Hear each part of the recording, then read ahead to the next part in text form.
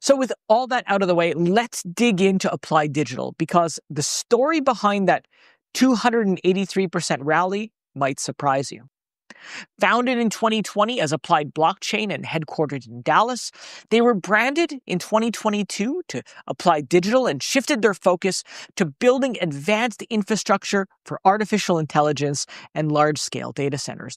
That is a huge pivot from chasing crypto hype to building the digital foundation that AI requires today. It's the kind of move that separates a company from chasing trends, from one to actually building the future.